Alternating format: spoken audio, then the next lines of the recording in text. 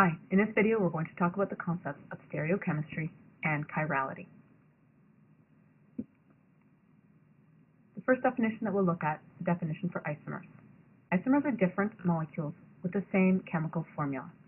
An example would be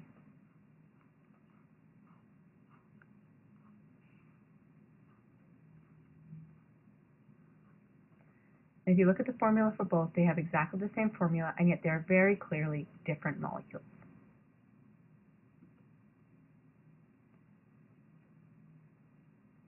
Now, one class of isomers would be constitutional isomers, and that would be the exact same as that example that I just gave you on the last slide.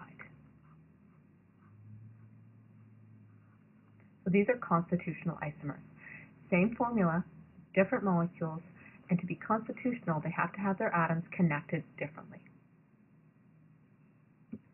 The stereoisomers are a type of isomers, so we're talking about still different molecules here, that have the same chemical formula, but this time they have the same connectivity. Now, although they have the same connectivity, they're different molecules, and we know that because they have different arrangement of their atoms in space. We'll go directly to look at two different types of stereoisomers. The first type of stereoisomer, known as enantiomers. Enantiomers are non-superimposable mirror images. So for example,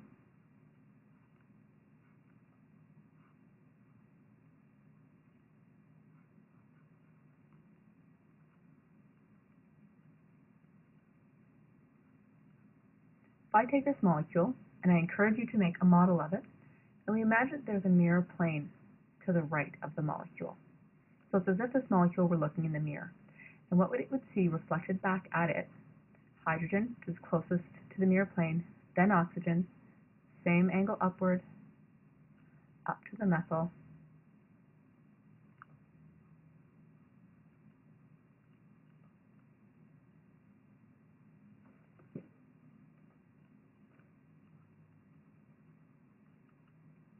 And if you make a model of both of these molecules, you'll see that they are in fact different molecules. So because they are, because they are mirror images, they are termed enantiomers.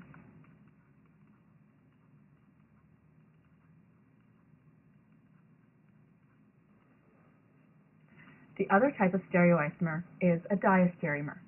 These are the category of stereoisomers that are not enantiomers. So basically everything that doesn't fit in the category of enantiomers. So there are a number of different examples of diastereomers.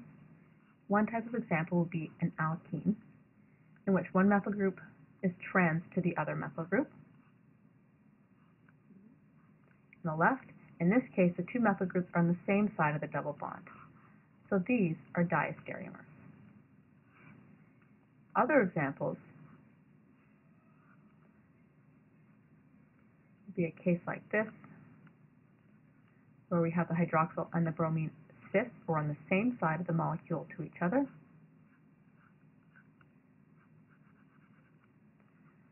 Two molecules that have their atoms connected exactly the same way, but differ in the arrangement of their atoms in space. So for example, here the difference is the orientation, the configuration of that hydroxyl group.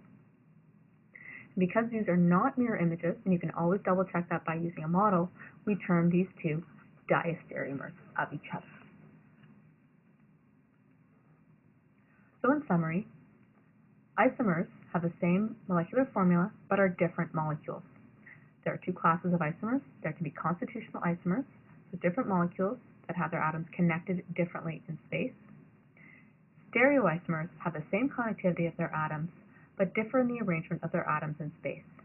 Enantiomers are non-superimposable mirror images. Diastereomers are stereoisomers that are not enantiomers.